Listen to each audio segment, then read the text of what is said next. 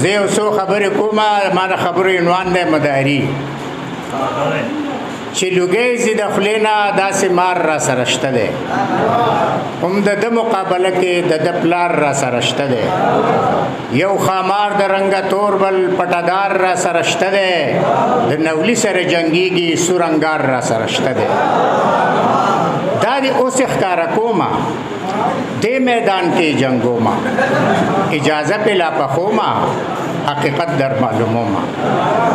زمارونو لګ حصار شي تماشې ته تیار شي د شپېلې په انتظار شي غیر چا پیر په قطار شي د دې کرخه نه لګلر شي اجازه کې د منتر شي غلی کې نه اوس خبر شي چې څوک شور کوي بهر شي د شپېلۍ نه شروع کېږي شپېلۍ بند شوه نه غږېږي ساه مې لنډه لنډه کېږي لاس او خپې مې هم رپېږي شومه پوهه چې سچل دی دې محفل کې یو چغل دی څوک د غلو د لارې مل دی چې راغلی اجل دی مخامخ راشه ای ځوانه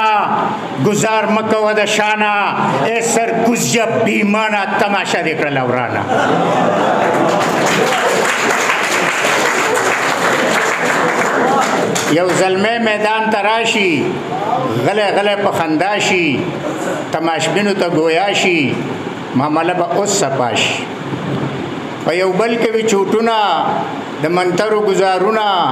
د چا خپې د چا لاسونه د چا بن شټول رګونه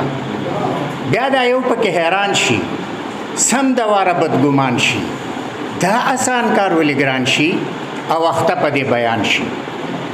کوم تویس چې تا سره دی دلته وي زما سره دی او که ستا د نیا سره دی نو زما دادا سره دی شکرانه یې لس روپۍ ده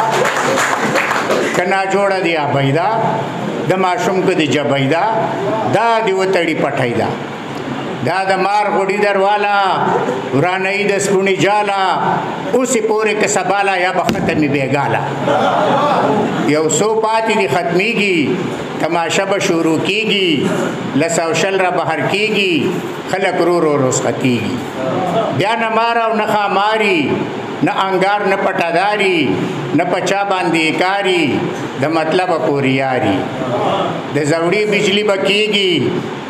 په کسۍ به راتاویږي